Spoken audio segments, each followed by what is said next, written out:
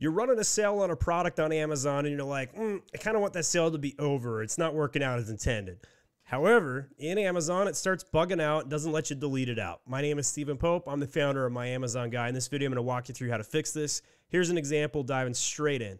So if you go to the offer section of the product after you've hit edit from the inventory page, that brings up the screen. In here, we've got a sale in place where we've gone down from 50 bucks down to 45 and we've got a sell date and a future end date here.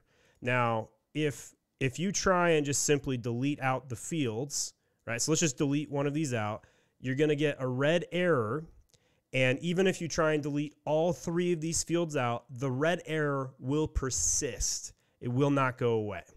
And so the way to disable the sale with the new UI is to take the date of the end date here and right now it's in the future, go ahead and select a date in the past. And then after you've done that, obviously the first date has to be way in the past there. And then once you've done this, the sale will clear the error. Scroll down to the bottom, hit save and finish. Can't see that on my screen here, but hit that save and finish. Move my video so you can see that. And then it should, within 15 minutes, clear out the sale. It'll delete it out of the history and will stop displaying on the front end to Amazon.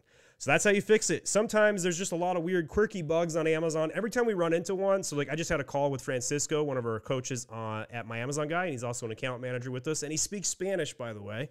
Anytime we run into a challenge like this, and so Francisco just called me up. He's like, "Hey, how do I fix this? I've been been trying to troubleshoot this." So we sat on a call, we troubleshot it, and bada bing, bada boom, we found the solution. Um, anytime Amazon updates its UI. So if you want to hire one of our coaches here, you got a problem, it's getting stuck, go over to myamazonguy.com and click on the coaching tab. We'd be happy to help support you. Uh, and for more videos on catalog troubleshooting, watch these videos next. My name is Steven Pope, and I'm the founder of My Amazon Guy.